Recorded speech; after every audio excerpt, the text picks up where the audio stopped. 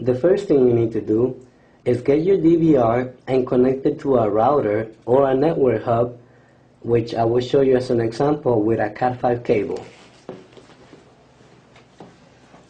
This is my DVR. This is my router. You would just simply get a Cat5 cable with the Cat5 connectors or the regular network cables. You connect one on the DVR and the other one into your router on whichever port. Let's say port 1. And that's it. This is the first step for remote viewing. your computer, the first thing you need to do is go to the start menu.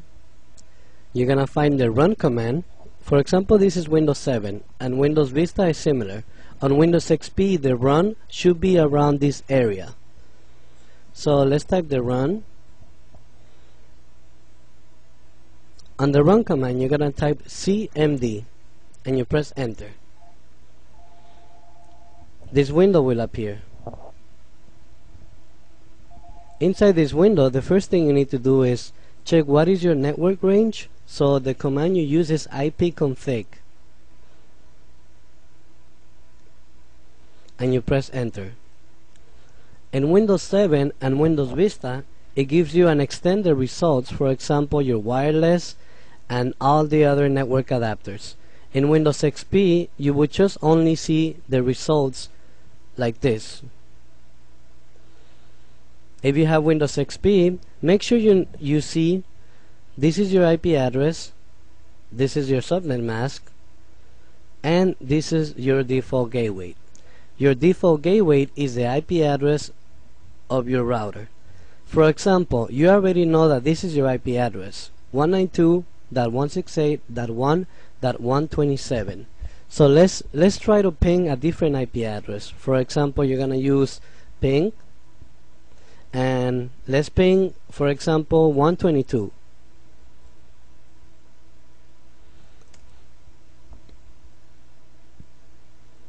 as you can see it says destination host unreachable. That means no device on the network is using this IP address. So you can use this IP address on your DVR let's type a different example. Let's say um,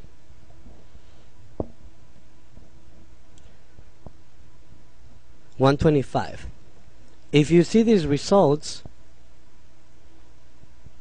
reply that means someone else is using this IP address. So you don't want to use an IP address that's already been in use. So now you need to copy this IP address 192.168.1.122 make sure you also copy the same subnet mask and the same default gateway because these settings are the one that you're gonna put on your DVR. Now on your DVR you're gonna access the menu depending which DVR you have. For example, the DVR I'm using as an example is the 2408P. It's on our website as well. So I will go into the menu.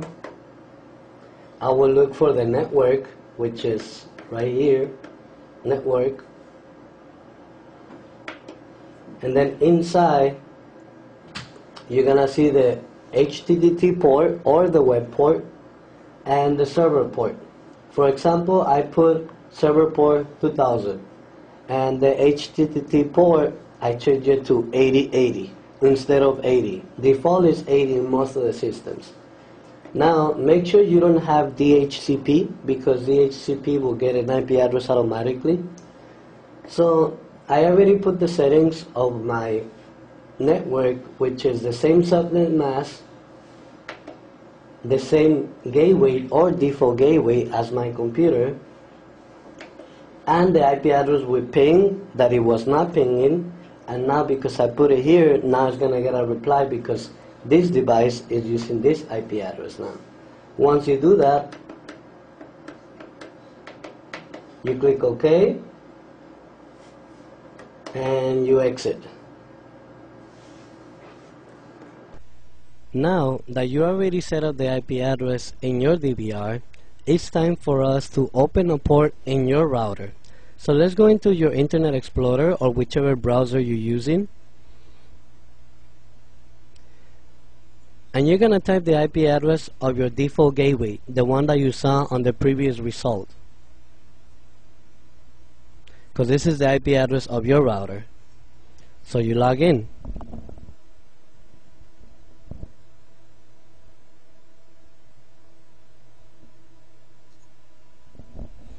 For example, I have a SonicWall. You may have a different router. In that case, you need to find out where are the settings for the port forward or the access rule. For a SonicWall, this is an example. I have to add a service. So I don't need none of these services. I have to create a custom service. So let's call it DVR. The port that I need is 8080 because that's the port that we put on the DVR. So I added in TCP now I do the same thing. Again. But this time I added in UDP because you need both protocols TCP and UDP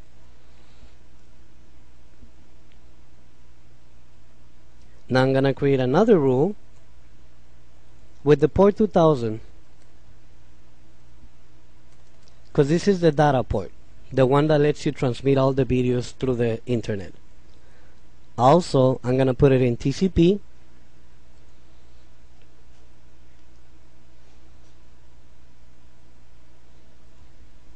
let's do it again. For UDP I add. And now I have my services right here, port 8080 and port 2000. So now let's create a rule. In some other routers, it should call port forward or application and gaming, for example, in Linksys. So we go into rules and we need to add a new rule. So the action, for example, on the SonicWall, I'm gonna put allow. What is the service type? So the service is called DVR, what I just named it. The source, I'm gonna put any source. The destination should be LAN, because you're coming from WAN, wide area network, to LAN, local area network. The IP address will be the IP address of the DVR. Apply this rule always and you just update.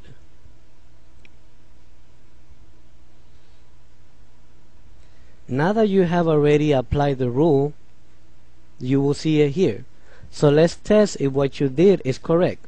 You go to a website for example can you see this is a very good website for checking ports As you can see, this is your external IP address. Let's test if the port is open. Let's put 8080. You click check. The results will be here. Success. You have to see success in order for you to see your DVR remotely. Let's test the other port, 2000. Success as well. So now you have to type your external IP address to check if you can see your cameras. You open Internet Explorer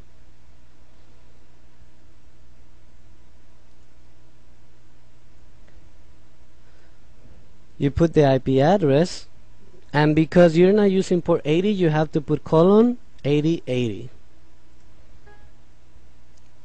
this will appear the ActiveX controls. I have another video showing you how to disable this pop-up.